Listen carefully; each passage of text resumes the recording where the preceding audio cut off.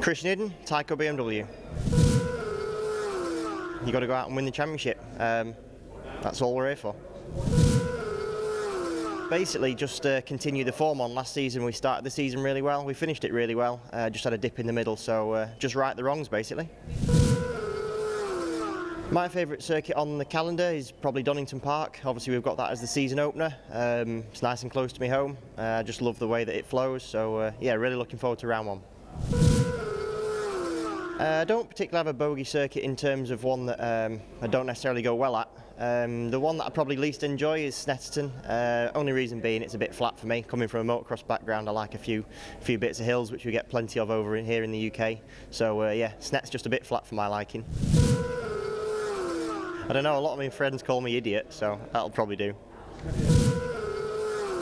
Yeah, the run up to 2017, uh, we've not had a great deal of time on the bike. Uh, we've got quite a few new parts um, which still need a bit of evaluation. So, um, yeah, the first few rounds are going to be interesting. We've still got lots of things to try and test. So, the bike's definitely a step forward from, from 2016, um, but I think everyone's moved forward, so it's going to be interesting. See how we go. Well, I don't really like relaxing, to be honest with you. Um, I like working, so uh, yeah, to, to keep my mind at ease, I actually go building houses or do anything I can really. Um, obviously I really enjoy going motocrossing, that sort of thing. Uh, spent a bit of time out in Spain this year, so it's the first time I've done that. So I've done the typical racer thing and gone on a bit of a training camp, so that was, that was something new and different. Um, but yeah, back at it with the mixer now. Uh, I'm not particularly looking out for any BSB rider to be fair. If you focus on one person, you're going to forget the other 30 people that you're racing against. So yeah, um, I think this year the championship is so incredibly stacked that you definitely can't focus on one person.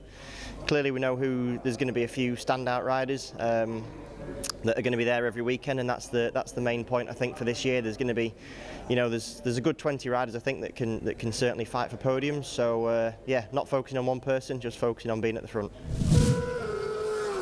I'm is actually a, a, motocross rider. That's Ricky Johnson, uh, American motocross and supercross rider. Uh, it's who I looked up to as a kid. Um, back in the day, I had uh, some TV programs with him on, and uh, he was always cool. Had cool helmet designs, so he's the man.